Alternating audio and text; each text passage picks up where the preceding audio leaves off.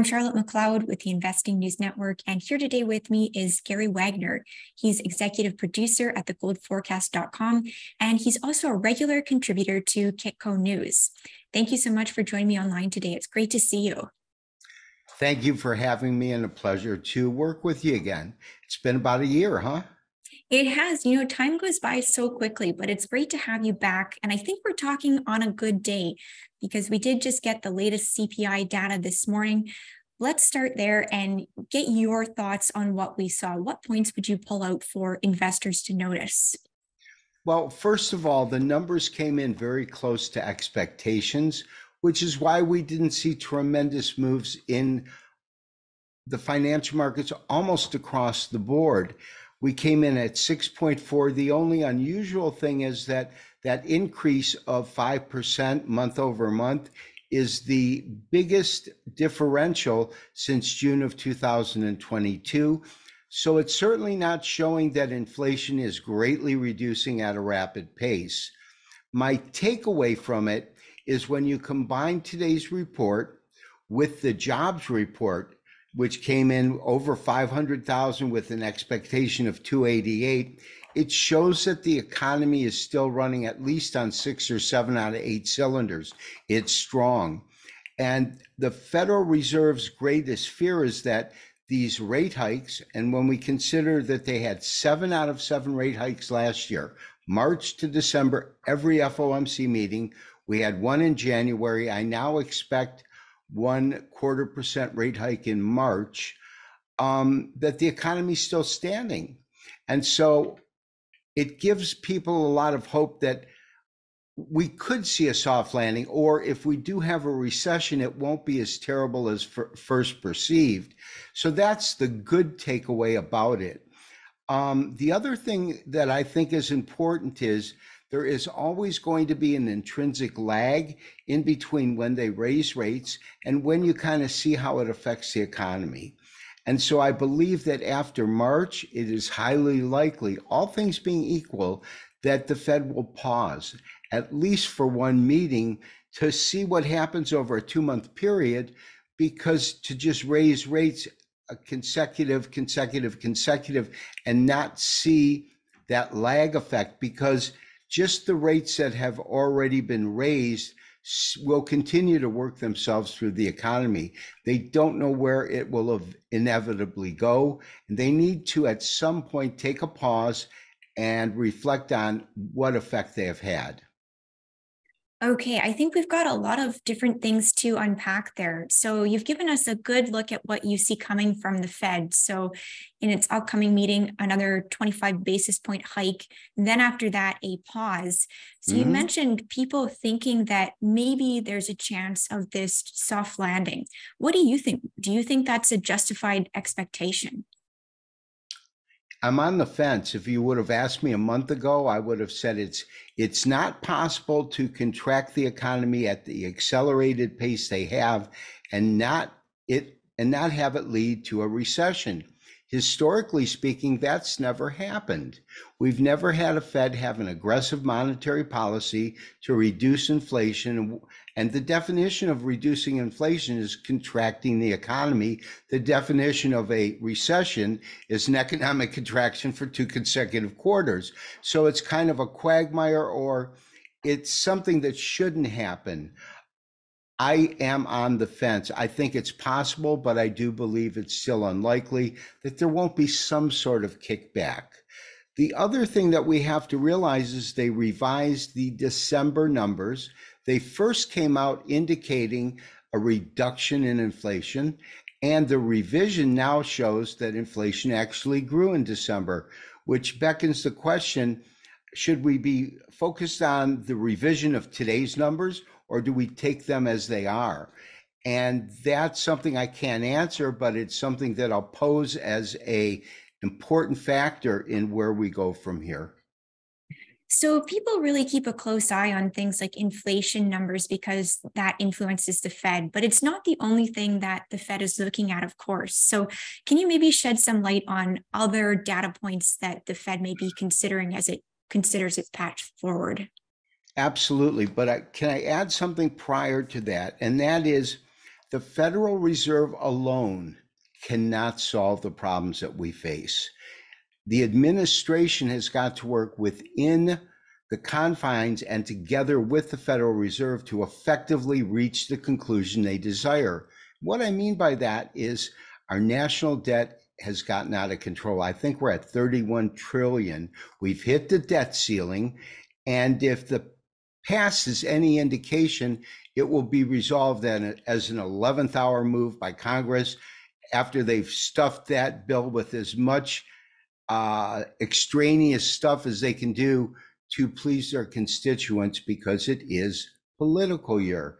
You know, one of the things I talked about on an interview that I did just uh, an hour ago was that these aren't civil servants anymore. They're self serving people in Washington. And so the main thing is that the Federal Reserve can do so much. They cannot solve this by themselves. So if they do all the right steps, but the government keeps spending more than they have and printing money, it's going to be uh, an impossible task to accomplish what they're they're they're trying to do. And so the most important thing that I believe the Federal Reserve is looking at, back to your question, is whether or not the administration pitches in and actually helps solve the problem or if they make that a harder problem to solve. Because besides the, the data points they're looking at, the key, the absolute thing that has to happen is it has to be a plan that is a combination of action by the administration, the House, the Senate, and the president, and the Federal Reserve to help poor Janet Yellen out that can't pay our bills. And so that's what they're going to look at. And that's what is needed the most to come to a solution in a timely manner that ha- inflicts the least amount of pain on on citizens here. Yeah, you know, I remember in that conversation we had about a year ago, you emphasized at that time as well that you know some things are beyond the fed's control. It can't fight inflation alone. And right. a topic that we touched on then was uh, supply chain issues. So i was going to check in with you on that and their bearing on inflation as well at the moment. Well th- listen we came out of a unique period in time in which we were self-isolated pretty much for year a year a year and a half we had a global shutdown. It was a black swan event in that it, i'm pretty old. I'm 67 and i never experienced the kind of turmoil that came out of the whole thing that happened. And so it's a difficult solution. It calls for serious answers but I don't believe that it can be solved by itself, but most importantly, to answer your question, I don't think supply chain bottlenecks have anything to do with the problem right now. I think that that has worked itself out of the system. I believe the biggest problem was a mistake by the Federal Reserve early on when they incorrectly assumed that inflation was transitory because I believe in 2020, I think it was around May, was the first time inflation went above their 2% target. It came in at 2.6%. Had they began incremental rates at that point, I think that by March 2022, when the first rate hike actually occurred, there would not have been a need. They would have solved the problem. And so that everything they did after that huge, huge blunder was um, corrective and it was uh, triage, so to speak. It was trying to undo what they should have done before. And that is what got us to the point where we are at now. I've taken a little bit of heat because I put that in a few articles and I said, oh, no, you don't understand inflation. What I do understand is the Fed can do so much. And historically speaking, every bout of relatively high inflation was met with a Fed with one single strategy put interest rates to approximately the rate of inflation. We didn't have our first rate hike till eight and a half percent, and we raised it by a quarter percent. It's going to have a, a minimal effect, if any effect, unless you do it for a long period of time. And that's why the, the narrative of the Fed is this is not going to get solved quickly. We're not going to reduce rates uh, throughout 2023. Now they're talking about raising the uh, the target from 5.1% to 6%. Everything they're doing is correcting the mistake of not acting soon enough. And that's already happened. I believe what they're doing now is on point, but they should have done it earlier. They didn't. And so, what that means is it will take longer. We will see rates elevated probably throughout the year. I don't believe we will see a rate cut. And the interesting thing is that the investing public didn't believe that. Oh, they can't sustain it, which was a, something that I personally thought wouldn't be possible. But they, the stock market kept going up. The reaction was that what they're saying one thing, but they're just it they're just speaking a doctrine and they don't think that they can pull that off. I believe they have the resolve because intrinsically they know without these steps now, um, inflation will become entrenched. And so I think they're on the right path. I think that what they're doing is needed. And I think the people that are going to pay for it are the middle class of Americans, Canadians, and we're a intermixed global society now and with global economic connections.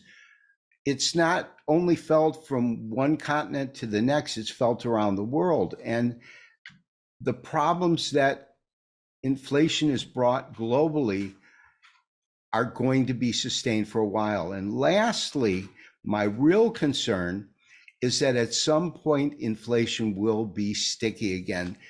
As I brought up last year, there's certain things they can't control, energy and food costs. Now, they said food costs have come down. I question that because I I don't see it. I see food costs going up but maybe it's where I live or uh, because Hawaii is not the least expensive place. And also we don't really, we import everything. So it could be a, that difference. But from what I've heard from people living on the mainland, living in Canada, it's still entrenched. And my fear is that there will come a point in which they've done everything they can, and what remains are the particular items in, in that are causing inflationary pressure that they really can't address. And if that happens, what do they do? And that's, I, I don't have an answer for that. And I pray that I'm wrong because that would be a very difficult scenario to kind of work through.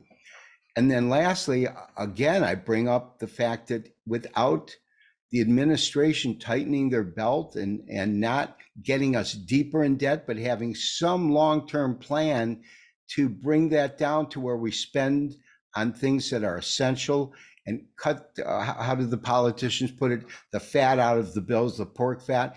They have to be realistic and they have to change. And there's really no motivation for them to do that because we can just print money and they're not the ones that suffer because of it. It is the hardworking middle class American, Canadian, um, English. I mean, it's a global problem. And that's my concern. It is really concerning. I think you've made a lot of points that will resonate with people a lot around the world. And what I want to ask now is how this relates back to gold, because our audience has a strong interest in gold and precious metals. And I think the performance that we've seen from gold over the last year or so, maybe not so much in the last few months, but it's it's confused people a little bit who think perhaps the price should be higher and they wonder what's going on there. You know, I think that it gold is act in a superlative manner. First of all, we if you look at back to last year, we saw gold rise tremendously up until March 2022. That was the moment that the first rate hike was implemented. Then series of rate hikes gives us a multi-month correction. We had a triple bottom that began around September to November at around $1,620. But consider this from November to just about a week ago, it moved from 1600 to close to 2000, almost a $400 move. We only had one shallow correction. It moved from 16 to 18 and then came back down to 1720. And then it was not parabolic, but it was a very, very aggressive tact to gain pricing, which is why I feel that the correction we're seeing is long overdue. Now, I have been on record stating I think that gold will go to a new all time record high this year. I said that, I stick by it, but I question if it will be if gold will be able to reach those highs this year. But I do feel this right now, market participants, gold investors are focusing on rising rates and not inflation. Inflation is coming down. And so it is a climate in which rising rates is a bearish influence on gold and inflation is a bullish influence on gold. So you've got that push pull. But if I am correct, and I'm not the only analyst out there that believes parts of inflation will remain sticky and very difficult to deal with, if that happens, then sentiment will turn to focus on the level of inflation that's not being reduced rather than the interest rates because they can only take it so high. And at that point, we will see a tremendous price ascent in gold. Will it go to an all time record high? I said it.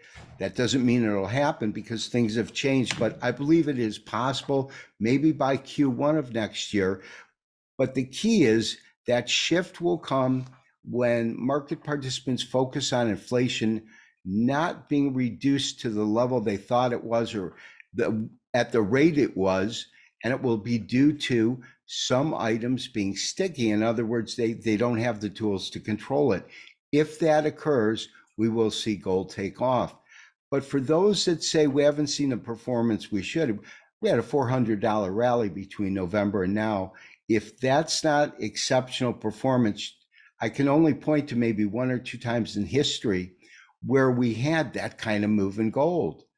I think they they became so sour about it hitting $10 shy of the all-time high 2078 in March and then going down to 1600 it did that in a year. Remember what happened in the middle of 2011? Ran to 1910, all time record high and everyone including myself figured okay 2000 is just that's the next stop. And we had a multi-year correction okay? 2013 14 15 and it wasn't until the end of 2015 beginning of 2016 when gold ran to $1020 from 1920 it, it lost half of its value. Then we saw a return to a multi-year bull market so when you put it into perspective, yes, we had a pretty strong correction, but the rationale behind it was we had rate hikes at every single FOMC meeting, seven consecutive meetings, four of them being three quarter percent rate hikes. That's a hard pill to swallow for, for any asset that does that has a negative impact on rising rates. That's gold. And to have that many rate hikes I think it held up rather well. And the incredible, strong rally that started in November 400 typical rally. I've been doing this and studying gold for about 30 years. We expect a good rally to be 100, an exceptional rally to go up 150 to 200 dollars, and that's been kind of the model that we've worked with for years. So whoever is upset with how it's moved, consider it's moved $400 in just a matter of months. And if you focus on that, I find it hard pressed to make that same statement. I think that's true. I think people do tend to maybe sometimes lose the context. So that that was a very helpful explanation of how you see it. And I want to ask just briefly as well about silver and your thoughts on silver in 2023 because it it follows gold, but it also has its own set of drivers that are a little bit separate as well. I did an interview uh, a couple of weeks ago and I was asked that question and I said silver is a different animal. That was the words I used. There's obviously been a disconnect between the tandem moves in gold and silver. It used to be that when gold moved up, silver moved up and typically outperformed gold. On the way down, the percentage loss was greater in silver than gold, but they tend to move in tandem. that disconnect has widened. And so we see days where gold might go up or silver might go down. There are different factors that you have to look at in silver. First of all, I think that overall, there's always going to be more of a demand because the idea of using silver in solar, electric cars, the applications are tremendous. And as that green technology grows, silver is an essential component. And so it doesn't seem to be sensitive to inflation in the way it used to be. I used to think of silver as gold's little sister. Uh, so they both ran, they were both sensitive to inflation. Gold doesn't have the type, the amount of applications that silver has, which is why I believe that it has upside potential. But here's my problem with that. Gold, silver went to $50 in two occasions. And the last one was record high in gold, record high in silver. Every record high after that, when gold went to an all time high, silver peaked out at 30. Why? I, I can't answer the question, but that to me is odd. And so that tells me I'm hoping that if gold goes to an all time record high, we see silver go to 40, 42. But will it go to an all time record high? It hasn't. And since it's a, a very difficult explanation to, to ascertain why that happened, when the fundamentals behind silver should, with increased demand, should elevate that price it's a more difficult answer. My only thing, and I'm speculating on this, is they mine a lot more silver than gold. I mean, you got to go back to supply and demand. One of the reasons might be, although you've read stories about how there's not enough silver, my sense is that there's more than enough silver. It's it. They're both mined in the same uh, pits. So silver and gold come out of the same mines, but I think it's the production. And I don't have those numbers, but that would be the only thing that really made sense to me about why silver didn't go to all time highs when gold did is that the production is so great. Because when you look at something like palladium or platinum that come out of South Africa and Russia, it's not far fetched to realize why palladium, which I remember at $100 an ounce became the most valuable precious metal. Again, it's scarcity. And I think the opposite might be true for silver, but I don't have the facts to back it up. But if I had to guess, I would think that that would be a big factor. Okay, really interesting. And that, that could be something to look into further in the future that's all I have for you today. This was really great. I think you articulated a lot of points that will be helpful for investors in the precious metal space. But was there anything, any final thoughts that you would add for for people heading into the year?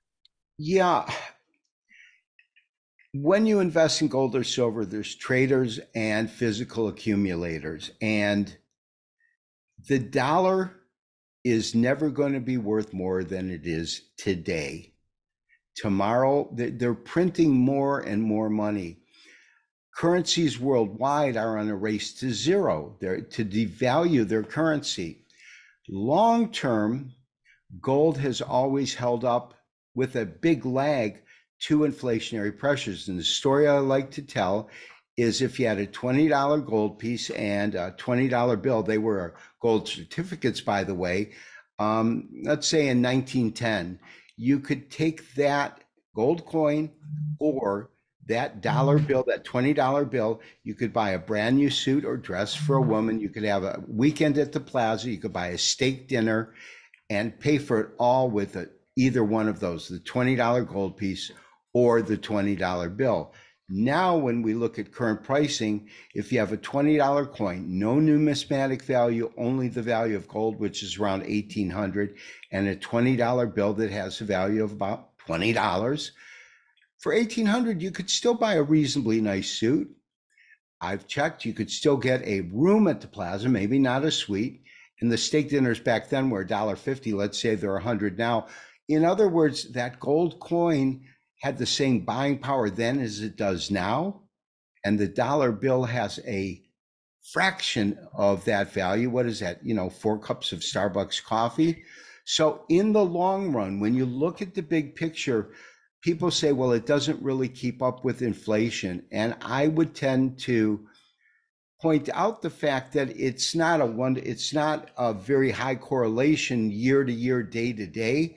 But the fact is, gold has the same buying power it had 100, 200 years ago. And the dollar has a, a, a fraction of that buying power. For those that invest in gold, A, I don't believe in numismatics unless you're cousins with the guy grading it because there's so much variation. But gold will always, it's the oldest form of currency on earth. It has intrinsic value, it had intrinsic value, and I believe it always will have intrinsic value. Continue to accumulate. I am on a silver kick now, but I mean, the gold and silver that I'm accumulating, it's for my kids, anyways. I'm not going to sell it. I like to look at it. But what I would say is don't worry about the day to day, month to month fluctuation. If you if you're not investing in it, right now, fixed income's pretty good. Real estate's a little iffy because of the high mortgage rates, but don't give up on accumulating gold and don't look at it as a short term investment because it's always the right time to buy gold. As long as you realize that 10, 20 years from now, there's going to be the gold is is going to be have far more buying power and value than whatever happens to the dollar. And Okay. that's what I that's what I think um, investors in gold need to understand and not get worried about the minutia of it's going up or it's going down, it's not performing, it is performing. Over time, there's nothing that is done better than that except maybe land, but there, there's no liquidity there. But there's never been any asset that has kept the same buying power for hundreds of years. So there's something right about gold. There's a reason that it was the first currency and it's still in use today. And anytime you doubt the resolve of your purchases of physical gold that you hold on to, think about that story and realize there's never a wrong time to buy. It's just allocate the right amount. I think that's a great thought to leave investors with, you know, to keep thinking long term, to remember your purchasing power. I think those examples were really helpful. So thank you so much for joining me today to go over what's going on in the markets and what we might be- see coming ahead. Always a pleasure. Always a pleasure. Thanks for having me. Of course, and hope to see you again. Once again, I'm Charlotte McLeod with the Investing News Network, and this is Gary Wagner with the goldforecast.com.